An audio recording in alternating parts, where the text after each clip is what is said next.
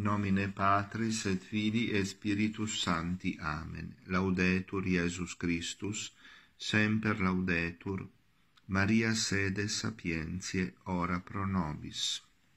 Continua la lettura dell'imitazione di Cristo, libro primo, capo ventesimo, dell'amore, della solitudine e del silenzio cerca d'avere il tempo conveniente per attendere a te stesso e pensa spesso ai benefizi di Dio. Lascia le curiosità, leggi materie tali che non ti affatichino ma ti compungano.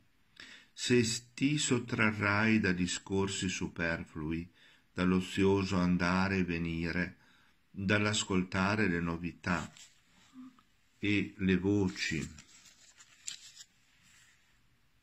che corrono troverai tempo bastante ed acconcio alle buone meditazioni.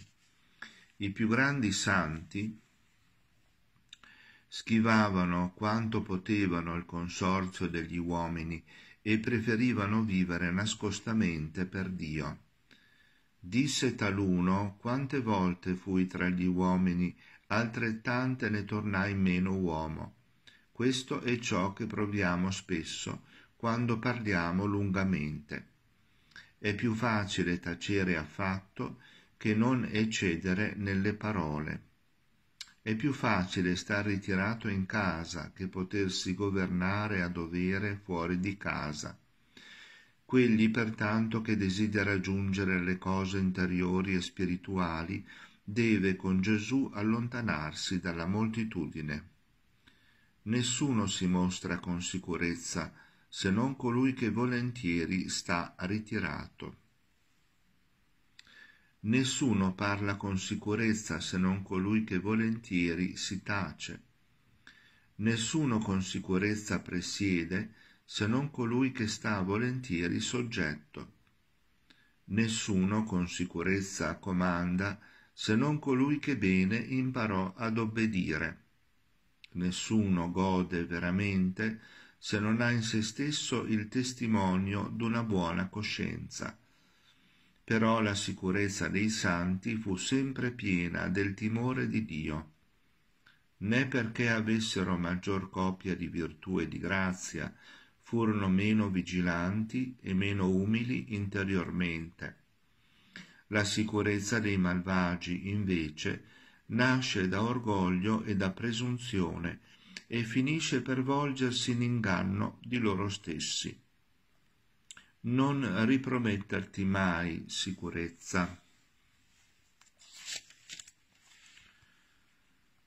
Nella vita presente, benché tu sembri buon cenobita e devoto solitario.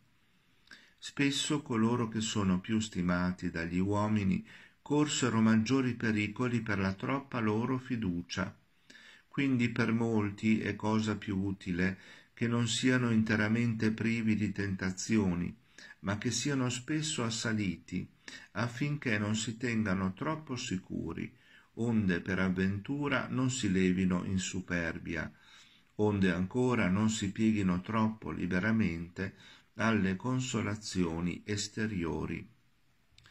Oh come conserverebbe buona coscienza che non cercasse mai gioie passeggere, chi mai non si occupasse col mondo. Oh quanta pace e quiete possederebbe colui che troncasse ogni vana sollecitudine, che solo pensasse a cose salutari e divine, ed in Dio stabilisse interamente la sua fiducia. Nessuno è degno della consolazione celeste, se non si è prima esercitato con diligenza nella santa compunzione. Se vuoi essere compunto nel fondo del cuore, entra nella tua cameretta ed escludine i tumulti del mondo, siccome sta scritto compungetevi nella quiete delle vostre celle.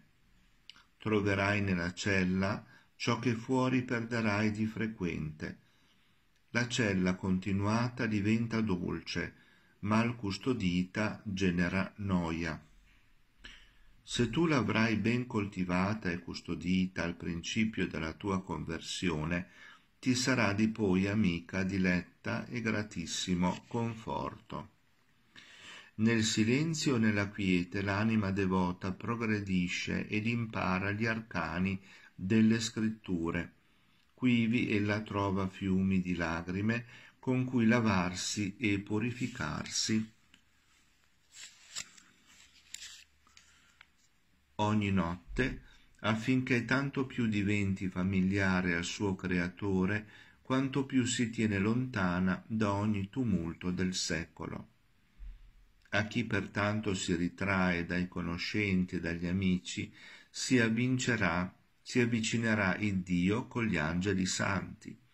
È meglio star ritirati ed attendere a sé che, trascurando se stesso, far miracoli.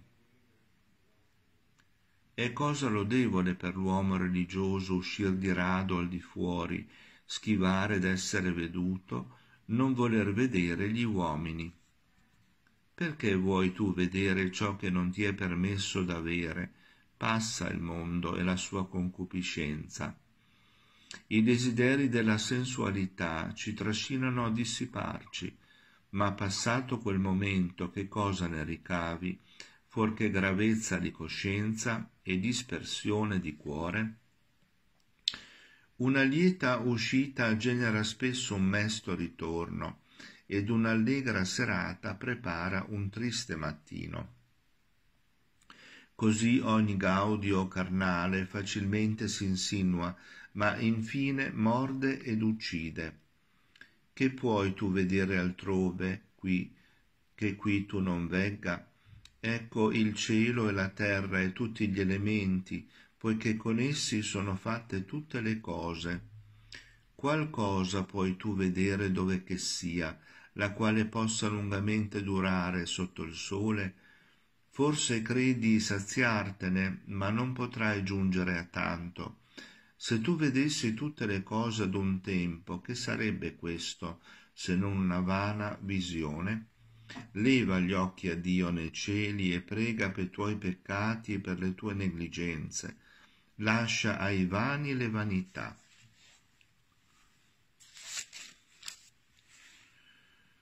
Tu attendi a ciò che t'ha ordinato il Dio.